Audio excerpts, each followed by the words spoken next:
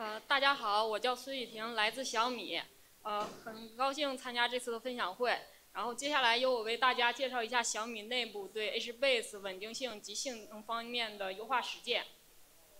本次分享分为四个模块，第一个是当前的现状与遇到的挑战，第二个是在在线场景如何提高 HBase 的可用性，第三个是。呃，在高请求场景下对性能的优化。第四个是对以上的总结和未来的规划。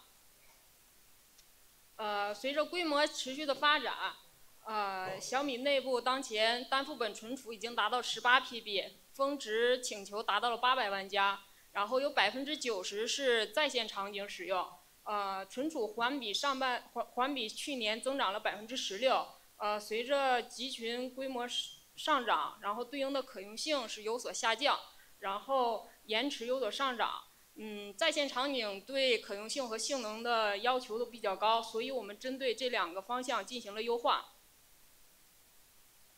第一个第一个点是可用性的优化。呃，先说一下对内核参数的一个优化。我先解释一下配置 scan 参数的一个含义是，操作系统在做。内存同步回收时，同步每秒同步读的页数。我们在排查问题的过程中发现，操作系统在同步回收时，如果 PageScan 参数比较高，会导致节点上的进程停顿，机器夯住，最终导致业务请求超时，然后节点 GC 最后与 ZK 失联重启。然后我们针对此情况进行了一个优化，就是我们加大。呃，操作系统同步回收内存的一个大小，呃，针对不同机器的内核，它对应的参数含义也不一样。然后我们建议每每建议不同的机器内核申请同步回收的内存是机器内存的百分之十左右。哦，我们优化后的效果是 PageScan 几乎降为零，然后对应的可用性呃达到百分之百。另外一种是对节点异常重启后回放数据耗时的一个优化。当一个请求，当一个写请求进来时，它会同步，它会串行的去写 WAL，然后再去写 memstory。呃，这个时候的数据其实还没有 flash 到 H file 中。如果这个时候 region server 进行呃触发 about 重启，那么我们需要从 WAL 中去回放对应的数据到 H file 中。呃，因为我们默认设置的 wall 的数量是四十二个，呃，由于这个数据链呃文件数量比较多，会导致回放数据时的耗时比较长。呃，在此期间，节点上的 region 是不能提供在线服务的，对应的请求也会超时失败。呃，我们针对此优化是，我们在节点触发 about 之后，强制进行强制对 memo story 进行一次 flash 操作。然后将 WAL 中对应已经落盘的数据目录到 Old WAL 的目录下，减少回放，减少回放 WAL 的数据量。呃，我们可以看到优化后的一个效果，之前四十二个文件时回放的耗时是一百六十秒，呃，最终优化后减少到一个文件数的时候回放时间是十八秒，呃，最佳效果能导达到百分之九十的一个优化。呃，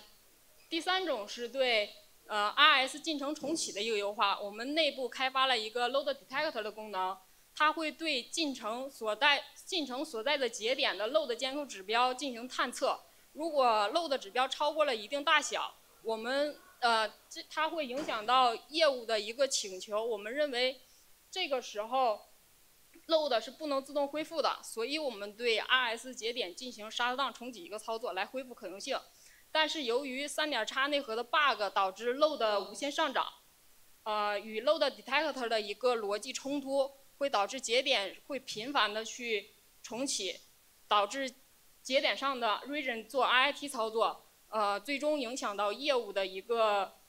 请业务业务的一个请求，呃，失败。呃，还我针对 load detector 还有另外一个啊不，哦，所以我们对三点叉。机器进行一个升级，修复 load detector，呃，修复 load 上涨的问题。呃，还有一个另外一个逻辑是，当一个节点上的 Q 某一种类型的 Q 满了之后，会对这个节点打上 Q_FALL 的一个标志，然后 load detect 去会频繁的呃连续探测 region server Q_FALL 的一个状态。如果连续都是 Q_FALL，那我们认为它也它也是一个不能恢复的一个状态，然后对节点进程重启，呃恢复可用性。我们可以看到上图的一个监控指标，当 Q size 上涨满了之后，呃，对应的可用性是有抖动的。然后我们进行重启之后，呃，Q size 下降，然后可用性会恢复到百分之百。但是最终，呃，Q size 还是会上涨，呃，因为某种原因满了。所以我们针对某一个，呃，针对这个 Q Q size 上涨，我们下面也有一个优化。呃，接下来介绍一下在高请求场景下的性能优化。第一个是线程隔离模型。呃，历史的逻辑是，当请求当一个请求进来时，会走随机分配的逻辑，随机分配到某一个 Q 上。这就导致说，如果一个其中一个 Q 的呃请求特别慢，那就会可能导致这个 Q 呃满了，然后接下来请求可能会被 drop 掉。呃，我们对这里做了两个优化。第一个是优先级队列。呃，我们对一批表打上优先级队列的标签儿。当一个请求进来时，我们判断它如果属于低优先级的表，那我们会去判断它前一分钟内的一个请求耗时。如果呃通过那个过滤器判断它是一个慢请求的话，那我们将这个请求分发给呃。线程呃分分发给优先级队列模型，然后也是走历史的那个逻辑去分配这个队列，因为只要它不影响到业务的一个正常请求就可以，其他业务的正常请求就可以。另外一种是我们引入了社区的 Fast Pass 功能，啊，这个它的逻辑就是当一个请求进来时，我会获取最空闲的 Handler，然后将请求丢给这个 Handler，但如果没有空闲 Handler 的情况下。我再把这个请求分配给分配给最小的一个队列，然后让它等待排列，就是去执行。然后可以看到优化后的效果，Q 没有没有某一种类型的 Q 上涨说满了的情况，它是一个呃均衡分配的状态。然后功能上线后优化后的效果，读延迟平均下降了百分之二十。呃，在高请求的场景下，肯定会有热点数据的存在。呃，我们开发了 Hot Spotting Region Detect 的功能，去探测通过 Q Size 和 Region QPS 两个监控指标，去探测热点 Region，呃，监嗯，比方是热热点 Region 四，然后我们通知到 Master，再去由 Master 通过 Q Size 和 Region Server 的两个监控指标。定位到负载最低的一个 RS 节点，呃，比如说是 RS 二，那 Master 再将 Region 四目录到 RS 二上，呃，我们可以看到优化后的两个效果比对，优化前可能某个 RS 的 QPS 特别高，优化后整体 QPS 已经被打平，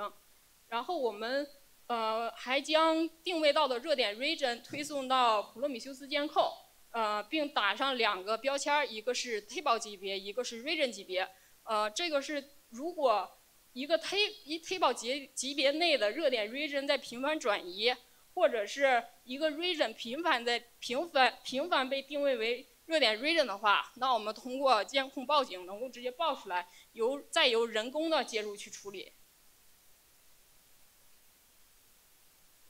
嗯，第三点是对。呃，机器资源的一个优化，我们内部是 HBase 和 HDFS 混布的一个场景，这就呃导致一些用户一些用户的行为或者集群的规模啊有一些资源的浪费，就是比如说 CPU 高或者存储低的情况，呃 CPU 高的情况，我们在排查的时候发现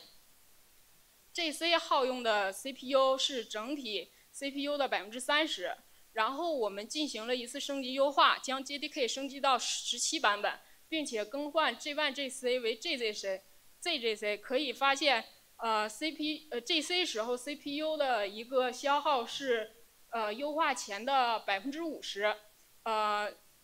然后我们测试写的时候也是一样的情况，然后呃优化后上线，呃节点的 CPU 有百分之十五的下降。嗯，接下来是对存储的一个优化，呃，我们针对不同的业务给他们提供几种优化存储的方式。第一个是冷备，第二个是分层存储，第三个是更换压缩算法为 ZSDD。然后右图的一个监控，用右图的一个监控是业务一个真实的水位下降，大概从百分之八十降到了百分之十五左右。然后可以看到优化后的效果。呃，整体都降到了百分之利用，就是资源利用率整体都降到了百分之三十以下。呃，对应对对于集群来说，我们可以缩容一半的机器，对业务来说成本有百分之五十的下降。呃，先说一下我们内部开发的冷备，我们是将业务业务打的 snapshot 的，呃，推送到 FDS 存，FDS 对象存储上。然后支持手动冷备和自动呃配置，但自动配置支持很多策略，呃天级别、周级别或者月级别，并且对呃超对数据的过期时间也可以设置。然后我们有定时的任务去清清理那个冷备过期的冷备数据。第二种是我们引入了社区的分层存储。呃，在 HDFS 上混布 SSD 加 HDD 加 a h a v e 的机器，然后通过 Major Compression 使对应的热、温、冷数据生效。嗯，我们在集群内部呃开启了 ZST 压缩，相比于 Snappy 在各个场景下有百分之三十到百分之四十的存储优化。呃，还有一个其他方面的优化是，我们开启了 HDFS 的赫兹的 Read 功能。呃，这个功能它会比较消耗呃网络带宽和 CPU 计算资源。呃，所以我们开启的方式，开启的嗯被开启的条件是，呃业务对读延迟有一定的要求，并且集群有呃。空余的空余的资源情况下才会去开启，呃，对应业务开启后的一个效果，可以看到读延迟有百分之三十到百分之五十的下降。嗯，最后一个是跨版本升级，呃，由于内部的一些历史原因，呃，我们有一些零点九八版本的集群，呃，规模较大，然后。没有升级到最新的二点叉的版本，这就导致我们上述的一些优化没有在呃没有办法在二点没有办法在这些集群上去使使用。嗯，我们最开始提供的是集群内部的一个跨版本升级，从六点九八升级到二点叉，再升级到二点三。但我们在升级的过程中也遇到了一些问题，呃，一个是高低 client 版本的接口不兼容。呃，这个我们整体去推对应的业务升级到兼容版本以上。另外一个是出现数据丢失的问题，然后这个我们看那个业界滴滴的一个文章，他们也他们在升级过程中也遇到相同的问题。然后我们已经修复，就是将二点叉的文件路径与零点九八的文件路径进进行兼容。另外一种就是呃数据不同步的情况。是我们升级过程中也遇到，就是嗯，零点九八与二点叉版本配置不兼容，导致数据没有同步。啊，这个我们在之后在升级前都会有一个注意项的检查。呃，最后一种呃呃提一下，除了上述的原地升级之外，我们还支持迁移升级。呃，提一下 KV Service 是我们跟阿里共建的一个呃 process 层，它支持进读进写，并且支持呃 table 和 IS 级别的一个呃切流。然后我们针对这种数据一致性的情况，增加了表级别的一个校验，只有表级别的校验完全一致之后，我们才会进行一个切流。